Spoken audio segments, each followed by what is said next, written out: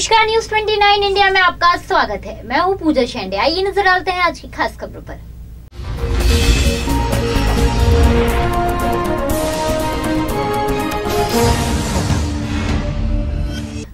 घंटे की बारिश ने रायसेन क्षेत्र में तबाही मचा दी। निचली बस्तियों में पानी भरने से हालात बिगड़ गए हैं। एनडीआरएफ की टीम ने रेस्क्यू करके मुस्तैदी से सागर मार्ग पर अमरावत घाटी के नाले से पाँच लोगों को सुरक्षित निकाला। हालाँकि Raisen collector S Priya Mishra, SP Jagat Singh Rajput और एसडीएम एमपी बरार सहित अन्य अफसर स्थिति पर नज़र बनाए हुए हैं। रायसेन में मात्र 12 घंटे की बारिश से चारों ओर पानी ही पानी हो गया। हालात बद से बदतर होते नज़र आ रहे हैं। हालात यह है कि रायसेन का सड़क संपर्क सभी जगह से टूट गया है और रायसेन एक टापू की तरह नज़र आ रहा है। वहीं रायसेन से भोपाल मार्ग पर दरगाह शरीफ के रिप्टी पर 12 फीट पानी है तो विदिशा जाने वाले कोड़ी नदी पर 15 फीट से ऊपर पानी बह रहा है।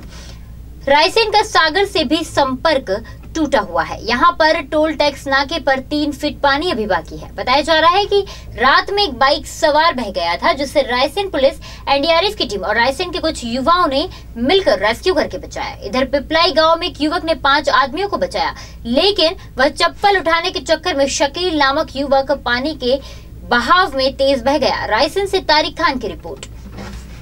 देश भर में ईद, जहाँ बकरा ईद का त्योहार पूरे हर्षोल्लास से मनाया जाएगा।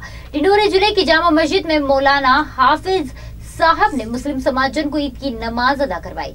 सभी नमाजियों ने देश प्रदेश में खुशहाली व अमन चैन के लिए दुआएँ मांगी। पंधाना में बकरा ईद के मौके पर मौलाना उस्मान हाफिज कादरी ने करीब 500 मुस्लिम भाइयों को ईदगाह पर ईद की नमाज़ पढ़ाई एवं एक दूसरे को ईद की मुबारकबाद दी। इस मौके पर बच्चों में काफ़ी उत्साह देखा गया। इस मौके पर नगर पंचायत अध्यक्ष परमानंद कुशवाहा, कांग्रेस महासचिव छाया मोरे, रूपाली बारे तहसीलदार और थाना प्रभारी ने राधेश्याम मालवीय ने ईद की मुबारकबाद दी। सनावत नगर में भी ईद का पर्व धूमधाम से मनाया गया। ईदगाह पर हुसैनी मस्जिद के पैसे इमाम मोहम्मद अशरफ द्वारा ईद उल जुहा की नमाज़ अदा की गई।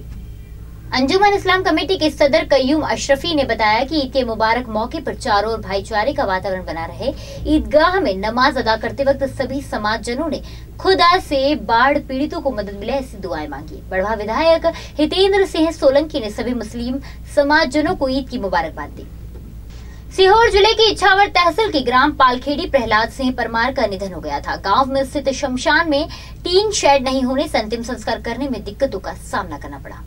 शमशान में टीन शेड नहीं होने के कारण बारिश के चलते पाँच घंटे तक मृतक का अंतिम संस्कार नहीं हो सका। इसके बाद ग्रामीण घर से टीन की चादर और लकड़ी लेकर आए और अस्थायी सेट बनाया। तब जाकर मृतक का अंतिम संस्कार किया जा सका। हम आपको बता दें कि इस गाँव को क्षेत्रीय विधायक शैलेंद्र पटेल द्वारा गोद लिया गया है।